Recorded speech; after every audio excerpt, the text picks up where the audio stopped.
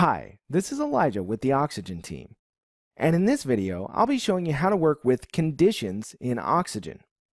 Conditions allow you to control whether an element is shown based on some other factor. As a common example, you might have an element that should only be visible to people who are logged into your site. With conditions, you can do that. You can also control the visibility of an element based on other factors like a post ID, post name, post type, or taxonomy. And it's important to note that conditions doesn't only control the visibility of an element in Oxygen, but if a condition applied to an element evaluates to false, that element isn't even output in the HTML of the page. To show you how to work with conditions, let's go ahead and jump into the backend and start going over some of the options that are available. So we'll go to Oxygen, Templates, and today we'll be working in a single post template. Click Edit with Oxygen. Now, before we get started, it's important to note that you can set conditions on any element in Oxygen. To do that, you simply click the element, and in the Properties pane, click the Conditions icon. Now you'll see the Conditions menu, and we have a few controls. Set conditions will launch a modal where you can set the conditions that apply to the element. Condition type allows you to set how the condition stack for that element is evaluated. And, which is the default, means that all the conditions applied to the element must evaluate to true in order for the element to be shown. Or, on the other hand, means that only one condition applied to the element must evaluate to true for that element to be shown. The in-editor behavior options allow you to control how an element is shown and how the element's conditions are previewed. Always show means the element will always be shown. Always hide is a good way to preview what your design looks like if the element's conditions evaluate to false. And show slash hide based on conditions will show or hide the element based on how the conditions evaluate. For this example, we'll use always show. Now let's jump into set conditions. And we'll click add your first condition. And we have three fields. The left field is where you choose the actual condition. We have 26 conditions built into Oxygen. We have an archive category, which lets you show a element based on the number of posts in the archive, the post type of the archive, or the taxonomy term of the archive. The author category allows you to show an element based on the author's name. Under the other heading, we have a date condition, a time condition, a day of the week condition, a day of month condition. These all allow you to show elements based on time. So you could have a Monday special on your site that's only shown on Mondays. Or you could have an element that is shown between 5 o'clock and 6 o'clock Combining these conditions really gives you a lot of power. Next, we have the cookie list condition. This allows us to check the browser's cookie list to see if it contains or does not contain a specific cookie. This lets you do things like use PHP on a specific page to set a cookie, and then show an element only to users who have been to that page and therefore have that cookie set in their browser. Session variables are similar but are a PHP function which can be used to set persistent values during a PHP session. And dynamic data allows you to choose data from our dynamic data dialog with which you want to compare some other value. Now we have the post category.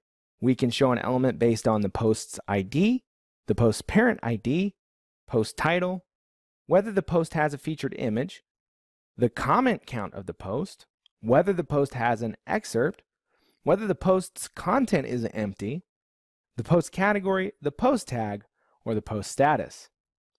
Finally, we have the user category. And here's user logged in. That's a popular one. This lets us show elements based on whether a user's logged in or not. User ID, username, user role, which is very useful for membership type sites if you're registering a custom role for people who have purchased a membership. And user can, which again is useful for restricting user access to specific things because it's all based on WordPress capabilities. For this example, we're going to jump up to post has featured image. Now, for each condition, the operators, which is what this middle field is for, may be different. So for post has featured image, we have an equals or does not equal, which is the exclamation with an equal sign. If we wanted to check whether the post has a featured image, and we only want to show this element, if that is true, we would say equals, and then we go over to the right-hand drop-down, which is the value we're evaluating against, and we would choose true. So now this element will only ever be shown if the post it's on has a featured image. And I'll show you how that looks.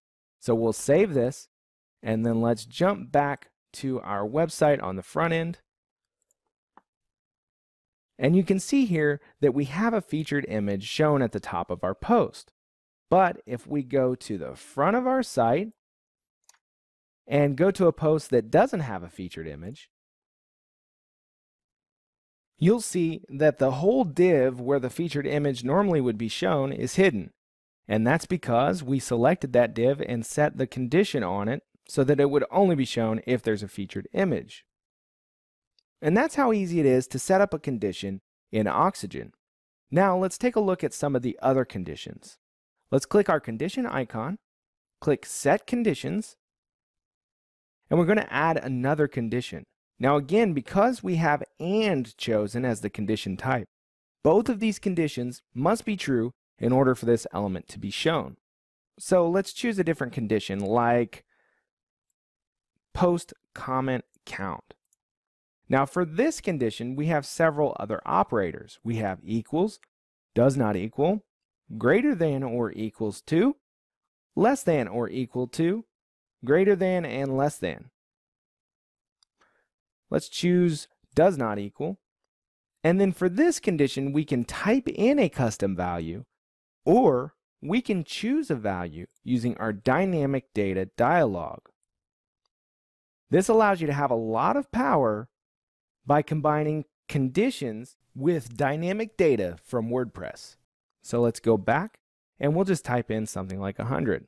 So now, if the post has a featured image and the post comment count does not equal 100 exactly, this element will be shown.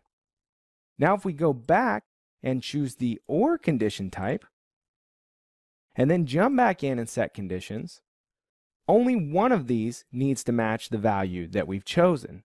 So either the post has to have a featured image, or the post comment count does not equal 100, and the element will be shown. Finally, I also want to mention that we do have an API that allows you to register your own conditions. So if the built-in conditions don't meet your needs, you can use code snippets or a custom plugin to register your very own conditions for use in Oxygen. And you can find full documentation for the API on oxygenbuilder.com slash documentation. So that's how to work with conditions in Oxygen. Again, this is Elijah with the Oxygen team, and thank you for watching.